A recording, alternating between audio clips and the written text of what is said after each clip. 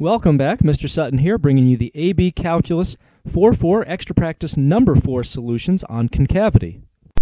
To analyze the concavity of this function, we're first going to take the second derivative. Even before we do that, though, we need a first derivative. And even before that, we can make our lives easier if we distribute this x cubed to get x to the fourth minus 4x cubed. So the first derivative of this, we've got 4x cubed minus 12x squared. And now taking another derivative, that's going to be 12x squared minus 24x. Setting this equal to 0 and solving for critical values, we can factor out a 12x, leaving us with just x minus 2. And then we see that x is either going to be 0 or 2 for critical values. So let's put those on an f double prime number line, 0 and 2. And let's see here, I'm going to use this factored version of f double prime to do my sign analysis. So testing out something to the left of 0, let's try negative 1. That gives me a negative times a negative, which is a positive. Between 0 and 2, we can use 1. That's going to be a positive times a negative, so negative overall. And after 2, we've got 3. That's going to be a positive times a positive, giving us a positive. So since I have a positive in the first and third intervals, that means that f is going to be concave up from negative infinity to 0, and also from 2 to positive infinity. And since f double prime is negative between 0 and 2, f is going to be concave down on that interval. On this problem, I'm trying to figure out concavity for 2 cosine of x just on the interval from negative to positive pi. So for that, I need to know the second derivative. First derivative is going to be negative 2 sine of x, and then second derivative is going to be negative 2 cosine of x. So we want to figure out critical values by setting this equal to 0. And uh, this is going to equal 0 wherever cosine of x itself equals 0, if you just divide by negative 2. Cosine is going to be 0 on the interval again from negative pi to pi, um, anywhere you're on the y-axis. So at negative pi over 2 and also at positive pi over 2. All right, so let's put this on an f double prime number line, and I've got endpoints now at negative and positive pi, and then I have those critical values at negative pi over 2 and positive pi over 2. Testing something in each of these intervals, and be careful here, we are using this f double prime equals negative 2 cosine of x. This is what we have to use here. So between negative pi and negative pi over 2, that's going to be the third quadrant. So anything in the third quadrant really will do. Um, so that makes cosine negative normally because you're to the left of the y-axis, but we're already multiplying by a negative, so overall this is a positive result. Between negative and positive pi over 2, we can use 0. Cosine of 0 is 1 times negative 2 gives us a negative. And between pi over 2 and pi, that's quadrant 2. In quadrant 2, cosine is negative, but multiplying by a negative makes that positive. Because this function, the f double prime rather, is positive in the first and third intervals, that means that cosine, or 2 cosine of x, f of x, is going to be concave up from negative pi to negative pi over 2, and also from pi over 2 to pi. And since f double prime is negative in between these two critical values, f is going to be concave down between negative pi over 2 and pi over 2. To figure out concavity for this function, I'm going to start by taking two derivatives because I need the second derivative to analyze this.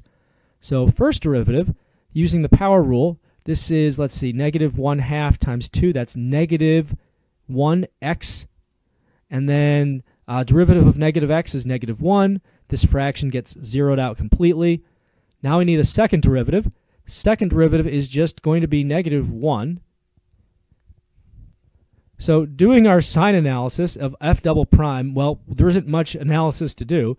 If f double prime is a constant value of negative 1, that means f double prime is negative for all values of x, which means that we don't have concave, concave up anywhere and we've got concave down everywhere from negative infinity to positive infinity.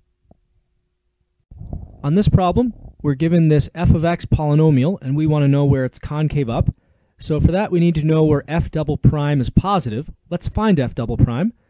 f prime, which we need to know first, is going to be 12x squared minus 4x cubed. And then taking another derivative to get f double prime, we've got 24x minus 12x squared. Now let's uh, find critical values by setting this equal to 0 and solving. I can factor out a 12x, leaving me with 2 minus x. And I see here that for critical values, I've got x equals 0 and positive 2. Putting those on an f double prime number line, so 0 and 2, I'm going to do some sign analysis. So something to the left of 0 I can plug in. Let's try negative 1. I'm going to use this factored version of f double prime here, and that should say f double prime up there. There we go. Now we know what we're talking about. Uh, so plugging that in, we've got a negative times a positive because we're doing 2 minus a negative. So that overall is a negative result. Between 0 and 2, we can use 1. That's a positive times a positive, so positive.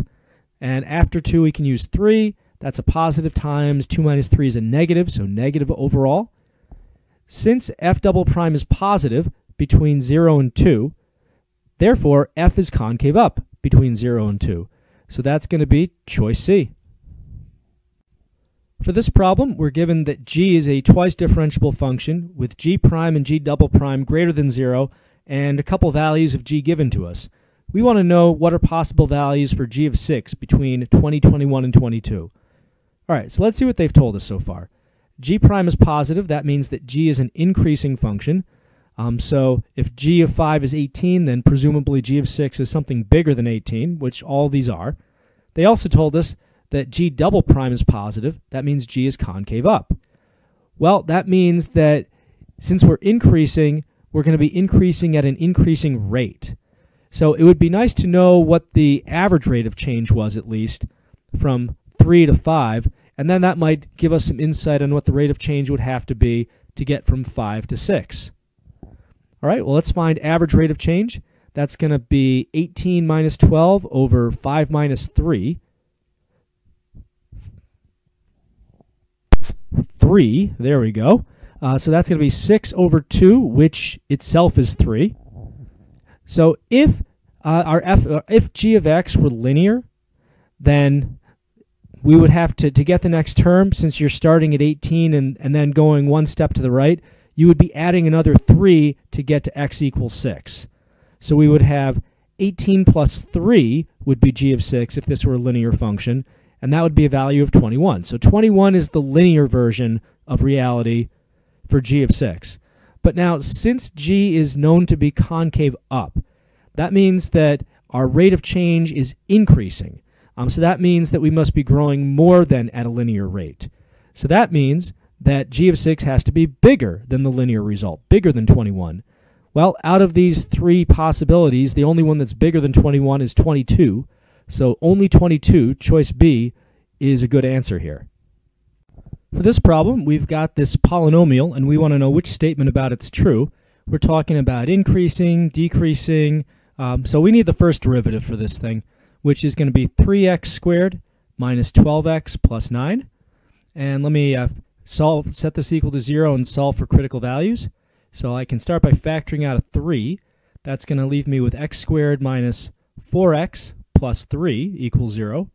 And then factoring this out, things that multiply to positive 3 and add up to negative 4, that would be x minus 1 and x minus 3. So we have critical values at 1 and 3.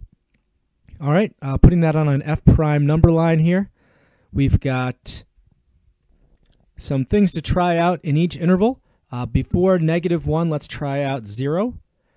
Plugging that into this factored version of f prime, that's going to be a negative times a negative, which is a positive. And then between 1 and 3, I've got 2.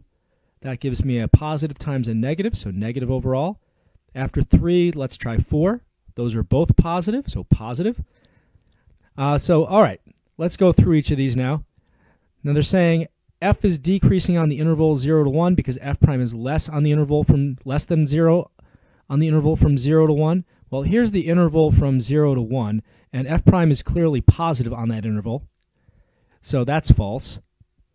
Next, f is increasing on 0 to 1 because f prime is negative.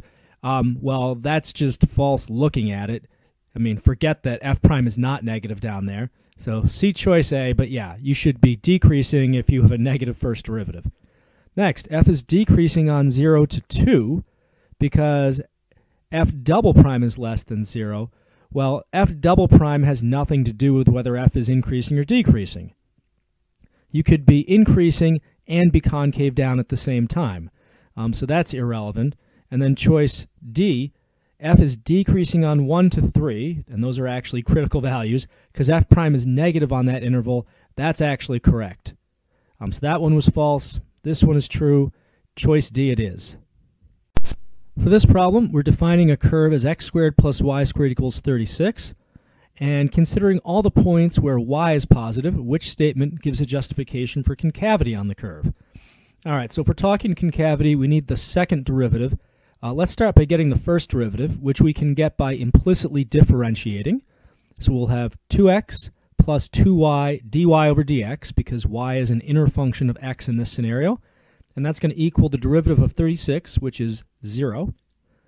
And then isolating dy over dx, we can do that by subtracting 2x and dividing by 2y. That'll give us negative 2x over 2y, or just negative x over y.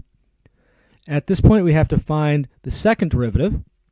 To do that, we need a quotient rule. So let me set up the box and ribbon to help with that. I'll use negative x and positive y, whose derivatives are negative 1 and dy over dx. So multiplying that out with the ribbon, I've got u prime v, that's going to be negative y, minus uv prime, so that's going to be minus minus x dy over dx, so plus x dy over dx, all over v squared, so that's over y squared. And where do we go from here? Well, dy over dx, recall, is actually negative x over y. So we can plug that in, so that's a little sneaky algebraic move we can use. So this is going to give us a negative x squared over y. And then to get a little further on this, um, I'm going to try and simplify this as much as possible, honestly, before I even look at these answer choices. To get a little further, we need a common denominator of y. So this can become negative y squared minus x squared over y. And if I divide this fraction by this y squared down here, I'm really multiplying by 1 over y squared. So that's negative y squared minus x squared over y cubed. So a whole lot of algebra on this one. And finally, um, one thing I could do if I really wanted to is I could factor a negative out of the top to get negative 1 parentheses y squared plus x squared over y cubed. Now, if you're wondering where could you possibly go from here, there's one other sneaky little algebraic move we could use. So when we had a dy over dx, remember we looked back at what dy over dx actually equaled. Well, here we have a y squared plus x squared. Well, there's another place they actually told us what the value of x squared plus y squared was. In the beginning of the problem, the original equation was x squared plus y squared equals 36. So wherever I see an x squared plus y squared, I can replace it with 36. And now if we have a negative 36 over y cubed, well, what does that mean for the second derivative?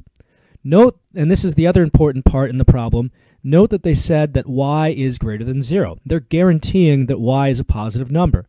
If y is positive initially, cubing it keeps it positive, so you have a positive over a positive, but inside a negative fraction. So overall, this is going to be negative for all values of x and y that we're allowed to consider.